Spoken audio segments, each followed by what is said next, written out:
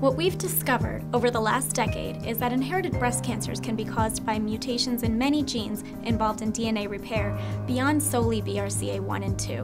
PARP inhibitors, like olaparib, are effective in BRCA-related cancers because they specifically target cells deficient in DNA repair.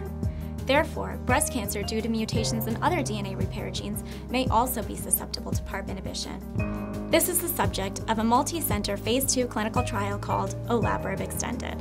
With the support of the Penn Center for Precision Medicine and the Nathanson Laboratory, we are studying tumors from patients on this trial to help better understand why some patients respond and some don't, with the ultimate goal of helping to select those patients most likely to benefit from therapy.